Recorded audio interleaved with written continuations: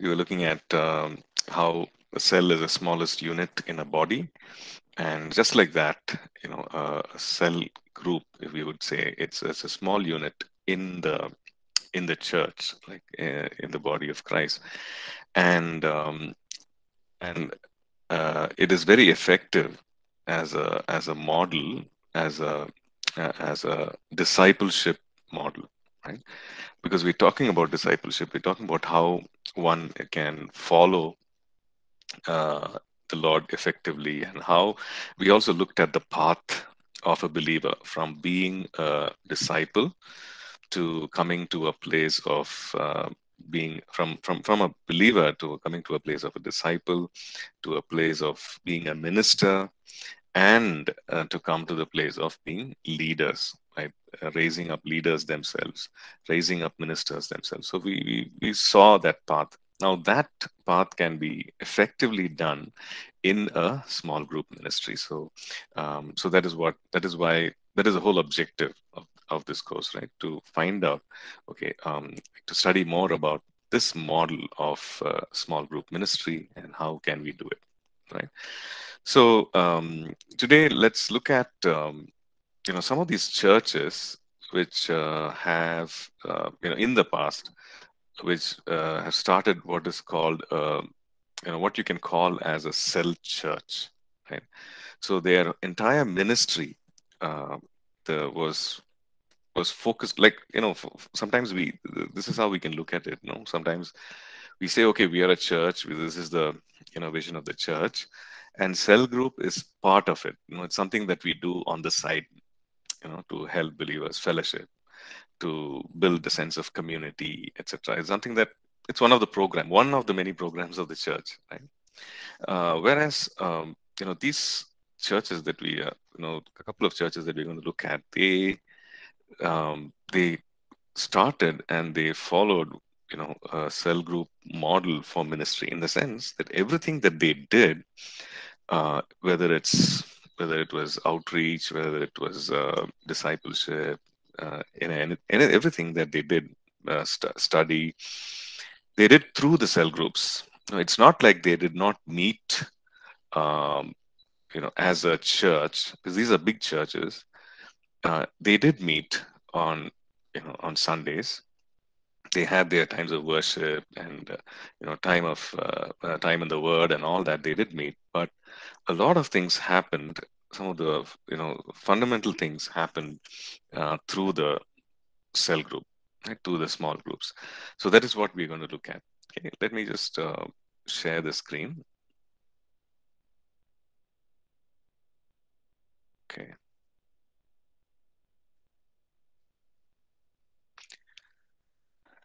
Okay, so that's what you see. So, so these are some examples of um, cell churches. Okay, the first one is the Yoido uh, Full Gospel Church in Seoul, Korea. Now, you know, I think uh, most of us know about um, this church. We've heard so much about it.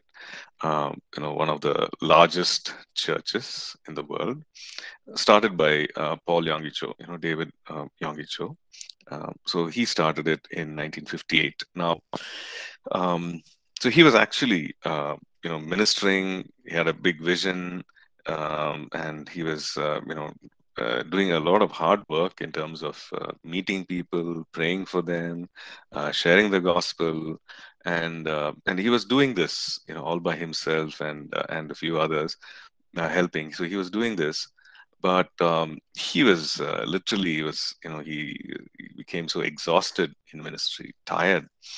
And uh, and that is when you know he was inspired and uh, god led him to start uh, start what is what we call now as cell groups right? Uh, so um, this scripture 18 uh, sorry exodus 18 and verse 21 you know you shall select from all the people able men such as fear god men of truth hating covetousness and uh, place such over them to be rulers of thousands, rulers of hundreds, rulers of fifties, and rulers of tens. So, um, so this is something that uh, he started, you know, initially with the women, and then it, it spread. So, uh, so these were small groups, and they were meeting regularly for prayer. So he was training the leaders and who would again you know who would uh, minister to the people in the cells.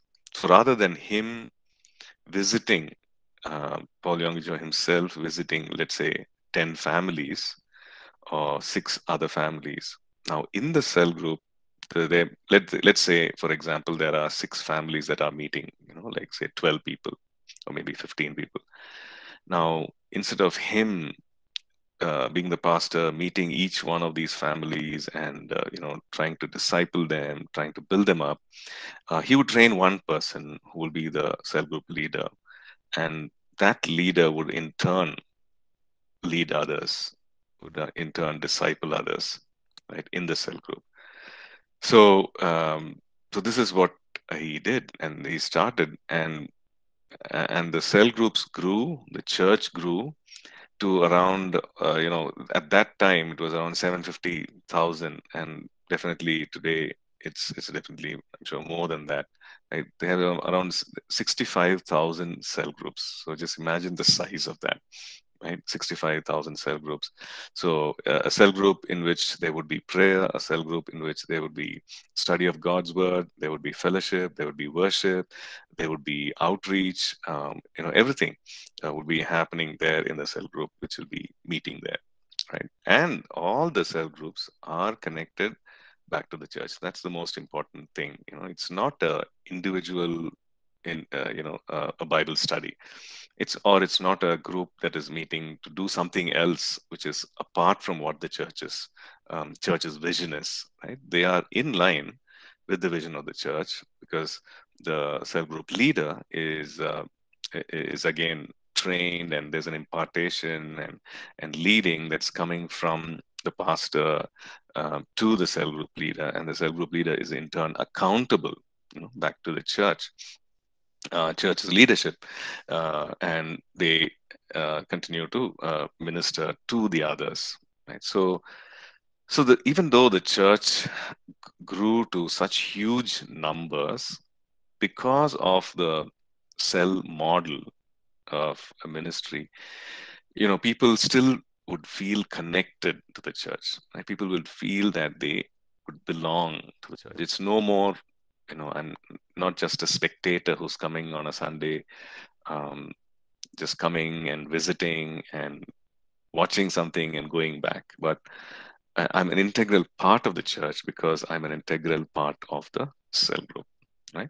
So this is something uh, that we read about uh, Yoido Full Gospel Church. The other church is uh, in um, uh, the International Charismatic Mission in uh, in Colombia. Um, Pastor Cesar, Cesar Castellanos right? Um, so similarly, um, groups of 12, like the cell group would have 12 and uh, 12 people and uh, and these cell groups would would be involved in evangelism. The, these cell groups would be in, involved in discipleship and everything right? So uh, so we see that they were quite successful uh, models of discipleship. Um, like we saw, you know, a, a, lot of good things happen when the church gathers together as a whole, as a as a congregation. The Lord, you know, pours out a Spirit, and when we worship together, um, the the the manifest presence of God, the release of the gifts, everything that we that we enjoy and receive, uh, you know, uh, a lot of answers and everything. Um, well, it it has its purpose and a lot of good things happen right? But also we see that there are certain things that cannot happen in the sense suppose i have a question and which i need to be answered. Now i cannot do it in that church service right? I'll have to do it uh, you know on my own. Uh, i may not be able to discuss certain things i may not be able to share certain things. I may not be able to, um, you know, of course, prayer, we, we, we know that that can happen, right? There could be prayer leaders and you could go and get prayed for or pray for others. Now that could happen. But uh, this kind of, uh, you know, uh, detailed study, uh, this kind of uh, training in the gifts, uh, all that will happen effectively in a smaller group, right? So, um, so this is the cell model or the cell group model with these churches seem to have pioneered. Of course, we see in the book of Acts, and that was what they brought in you know to their ministry. And they said okay this is something that we're going to be serious about. This is something that is going to be uh, at the forefront of our ministry. It's not like one of the programs of the church but is it is the program or the main thing in the church right? We're going to um, you know encourage people to be part of cell groups because you know uh, cell group is an important part. So so this is something these are some of the other churches that have also um, uh, you know uh, put in put in place what we call as a G12 or group of 12 model, uh, which is uh, exactly uh, what is followed by the in, uh, know, the International Christian Mission um, of Pastor Cesar Castellanos, Castellanos um, in Colombia, right? in Charismatic Mission, sorry. So now we need to understand that uh, while these are very effective models, uh, that, that is the G12 principle uh, of cell group ministry, these are quite effective models. Now there is no perfect church. Okay, there's no church which is uh, every church is a work in progress.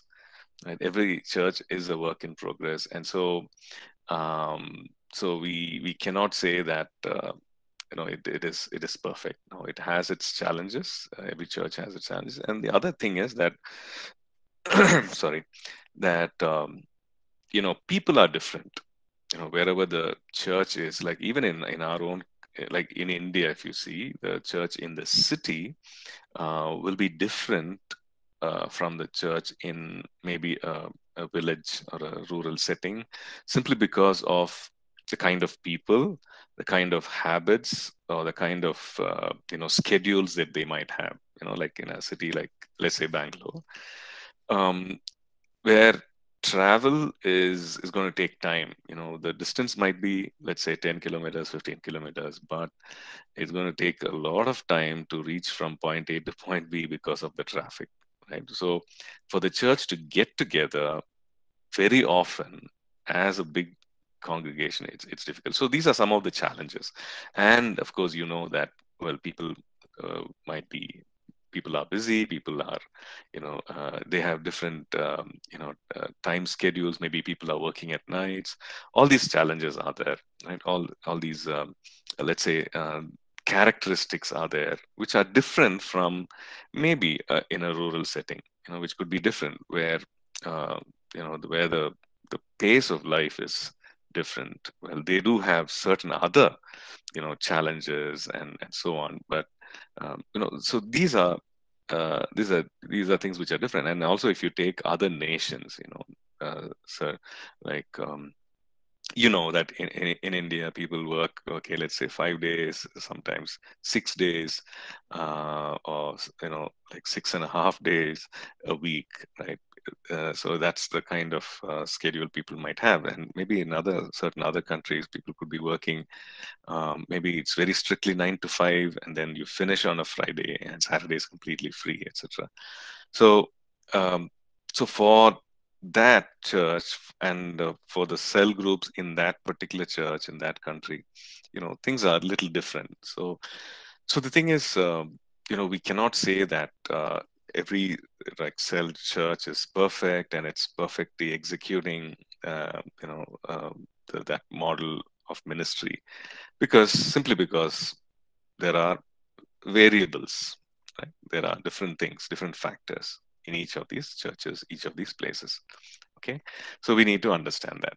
Okay so the question is okay will this cell church concept or the small group ministry will it work in in you know we might have that question. Okay it might work there but will it work here? Okay. Can i you know knowing how the people are in my town in my village in my city can it work? Right that is the question. Right especially if you're thinking of a city and uh, will people meet? Will people get together? Um, you know be, uh, people are busy etc right So the thing is that uh, here are some things to, uh, some points to think about, right?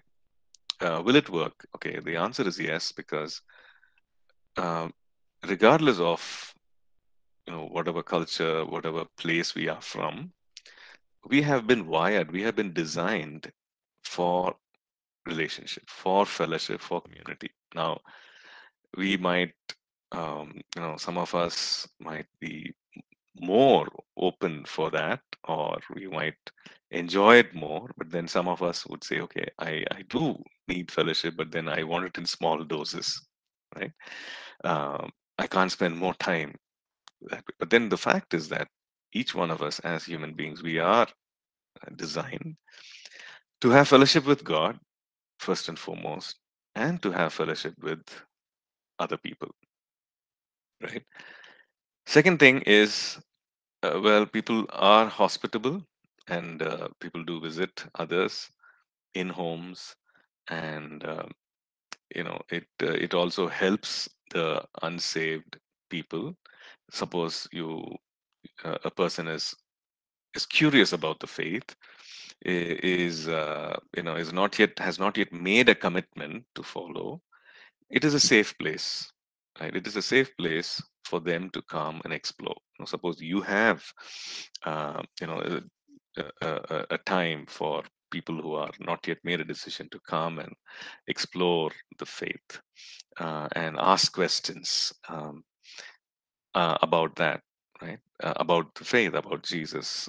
So this is, would be a safe this would be a safe place right? a home where they can come visit ask questions. Maybe they're meeting as friends maybe they're meeting as colleagues but uh, just to find out just to have uh, a discussion about the faith and to ask questions right?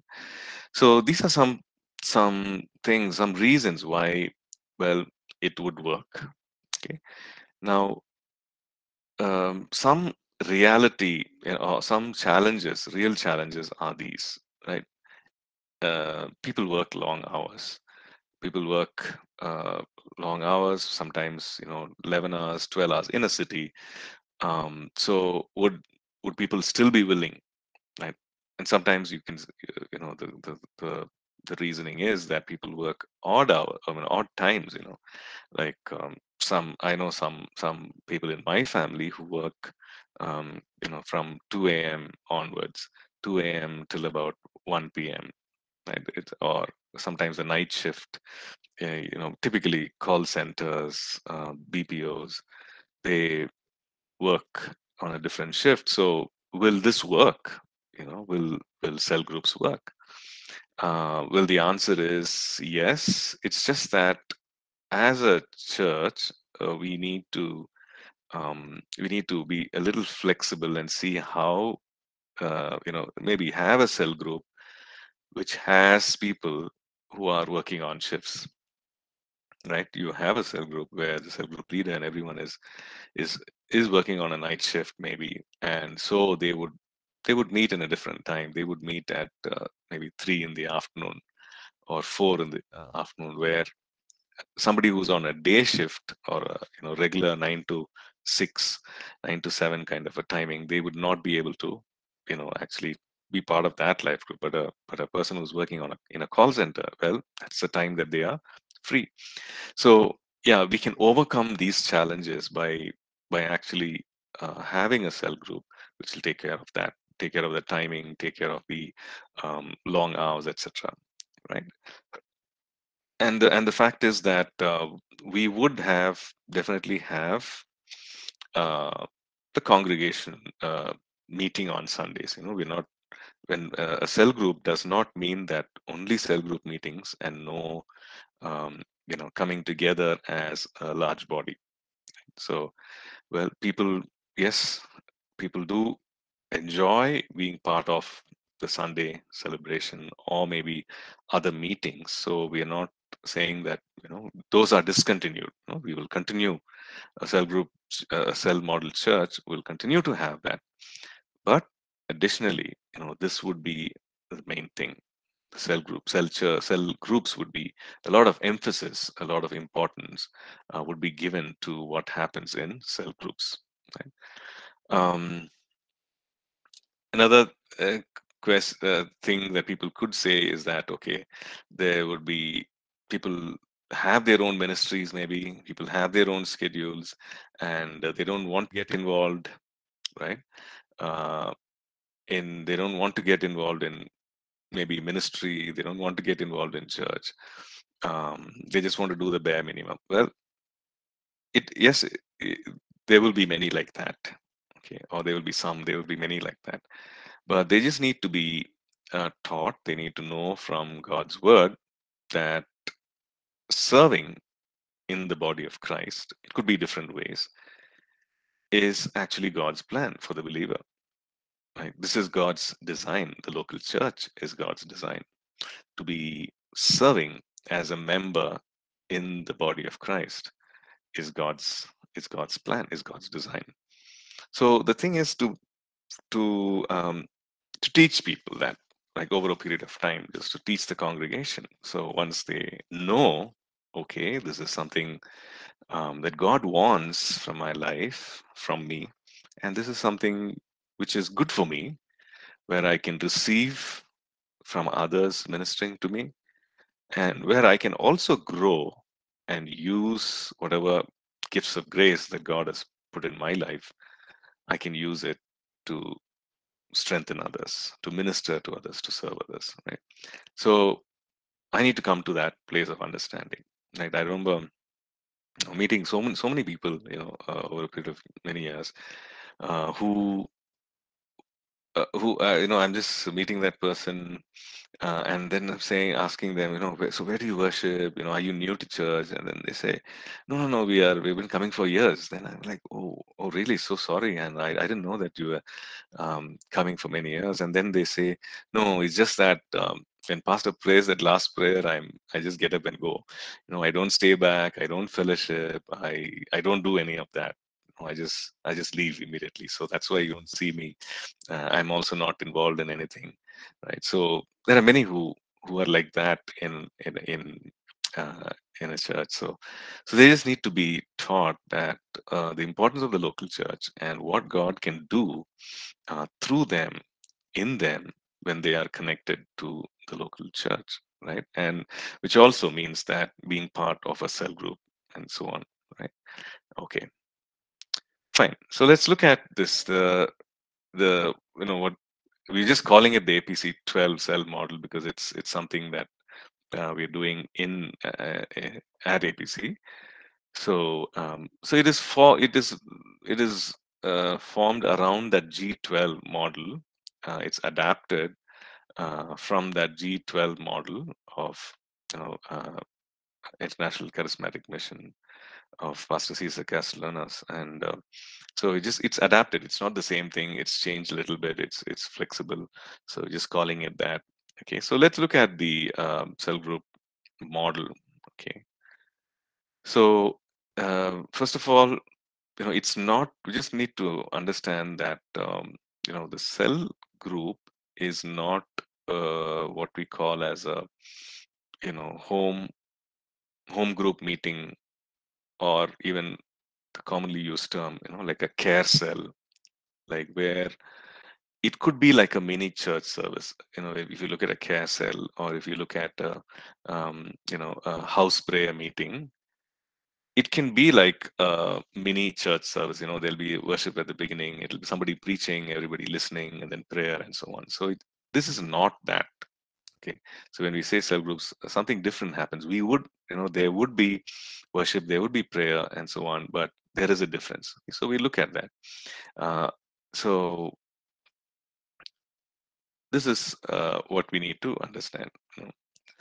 So one cell group leader is responsible for discipling okay or it could be a couple. You know, if it's a married couple and they are taking, uh, they are going to be leaders, so it's a couple, and uh, there could be six other couples. You know, let's say if it's a cell group for married people, so it could be a couple taking care of six other couples. So, so in effect, you have about 12 plus to 14 people in the cell groups. right? Or if it's only single people, uh, individuals, then it's about you know, 12 plus the leader. Okay. Now this number 12, you know, we've keeping it a little flexible. You know, it could be less than 12, it could be a little over 12, maybe maximum of 15. But um, the reason we want to keep it at that is so that the discipling process can be effective. Okay. See, what happens is uh, if it's going to be just like another church service, then again, there is no personal connect. Um, by that, I mean, you know, there is no one to one interaction. Um, uh, there is no personal fellowship because people still feel would feel a little lost. People still feel that you know it's uh, their needs are not being you know um, addressed uh, or uh, they may have questions and maybe they you know they won't have an opportunity because the group is very big you know. So opportunity to have that addressed so so the thing is intentionally it's uh, it's 12 okay? The second one is that you're committed to one cell group or you know the, the group that is led by uh, one cell group leader you know or a couple who are leading. So so in the sense that the the the church member is not going from one cell group to another cell group to another cell group you know every time you know every week not attending different groups i, I want to see what's happening there or i want to see what's happening there well you I mean, the person is free actually, but in a uh, but the recommendation or the suggestion is that okay, you be part of one cell group. You come be committed to one cell group. now this could be the one that is maybe convenient for you to go, or maybe maybe you feel that okay, this is this is a place where you belong. So you go to one cell group, you be committed to one cell group, and you grow in that cell group. You serve in that cell group. Okay, so um, so from the point of the cell group leader, so the cell group leader is connecting with this small group of people. Okay, it, it's 12 and uh, it, it's with this group of 12. So the cell group leader is also you know, getting to know each of them, uh, knows their life, knows their testimony, um, and also is able to minister to them at an individual level if they need if they need help should they have questions should they have challenges. The cell group leader is able to minister and also you know take them minister take them to a place of maturity spiritual maturity christ likeness right so that's uh, uh, so that also happens so so what happens is that over a period of time, let's say from this 12, there are three or four people who are who have come to a place of maturity. You know, they are they are they're ready. They are they're mature. They've grown in their understanding. They've grown in character, and they are they have come to a place of uh, of ministering. Right? They've come to a place of being leaders themselves. Then the cell group the cell group leader encourages them and also um, there's another step which is the, the potential cell group potential cell group leaders from that group like who who desire who have the ability uh, and the desire to become cell group leaders they get trained right by the by the pastor they get trained uh, the short training and how to be cell group leaders uh, what to do, what not to do, etc. And they start cell groups of their own with 12 other people. Okay, so it's six other couples or 12 other people. Sometimes it's a mix of married people and single people, so which is fine. So this is this is something that happens, right? So um, so there's one leader or one leader couple, and uh, you know, uh, so these are some features that we need to understand. There's one leader or one leader couple who are leading six uh, six other couples or you know 12 others. Um, so that number uh, again is uh, intentionally kept like that so that people can grow, so that people can um, you know uh, have uh, effective fellowship. Uh, so the numbers kept that way so that it doesn't really become too big. So there is no personal time with each other. Right. So it, it's a small. That's why we call it a small group. Uh, it's intentionally kept, kept that way.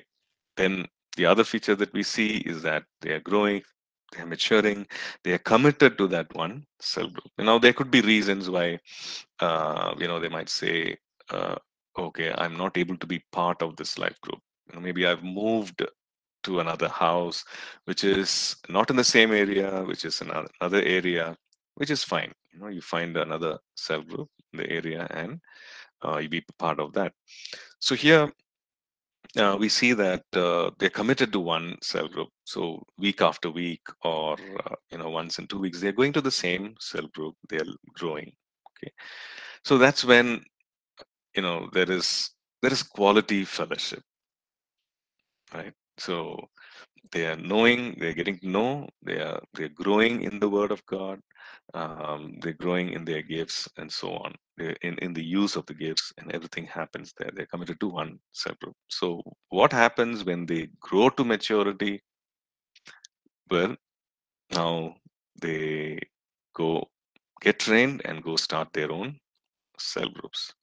So they could if they want be part of this cell group or attend this cell group and then have their own if they have the time. You know, some people have the time saying, okay, I'll attend this cell group, okay, and I'll lead my own cell group.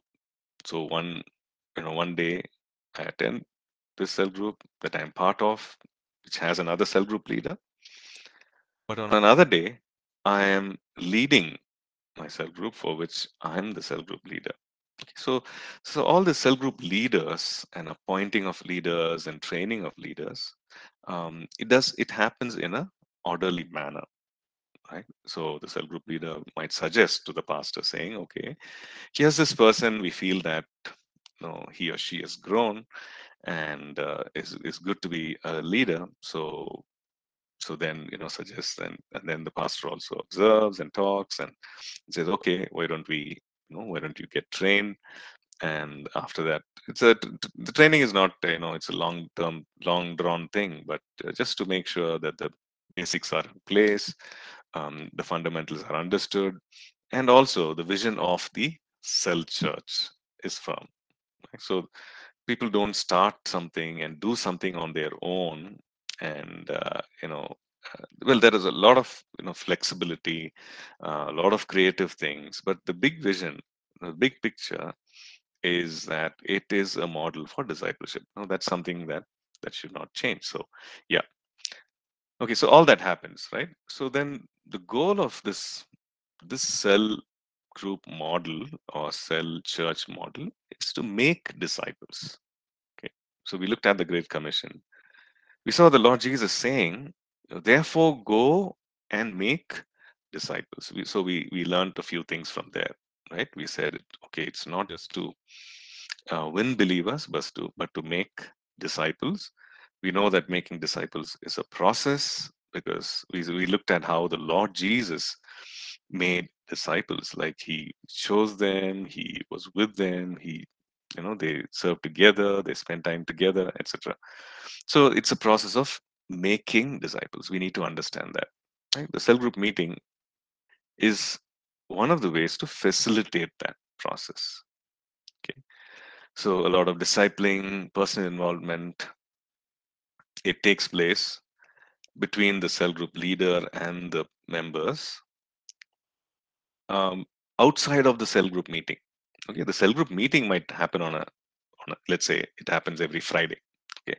Every friday night the cell group meets okay? So during the cell group meeting also there is a lot of you know things that are happening. Uh, there's a lot of discussion there's a lot of question and answers there's a lot of sharing personal testimonies all that happens.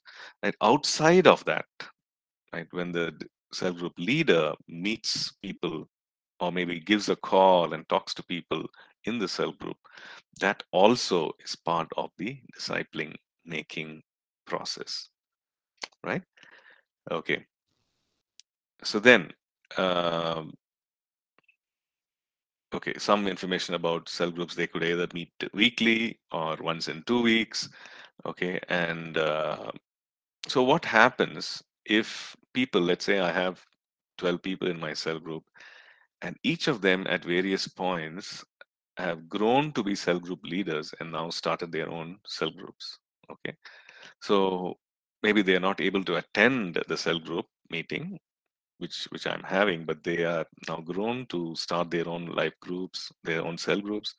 Um, so all the 12 are starting their own life cell groups. They've moved out. So now I'm free to take on 12 more. Right? I'm free to take on uh, 12 other people to be part of this so that I can continue that same process, um, bring them up to a level where they can start their own cell groups. So this whole process continues. Okay. Now, some might want to attend and have their own cell groups, which is fine, which is okay. Uh, but if they don't want to, that is also okay. Okay.